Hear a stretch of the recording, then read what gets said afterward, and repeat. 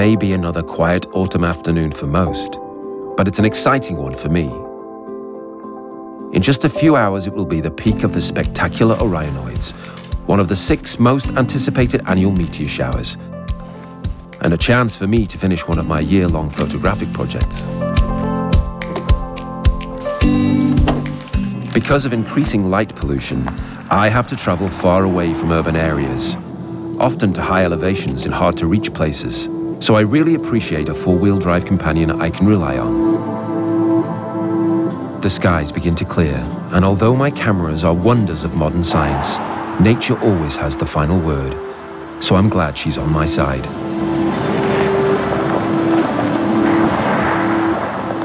Here is the perfect spot. Not a town in sight, and the sky is crystal clear.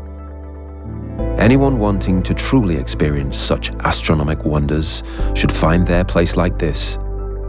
These are the hidden gems of our planet that I discover on my travels while exploring and documenting the universe, which give me such everlasting joy.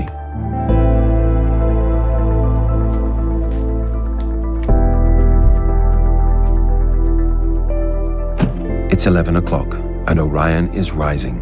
It's about seven hours until dawn. Now, all that remains is to let my cameras do their job and enjoy the experience.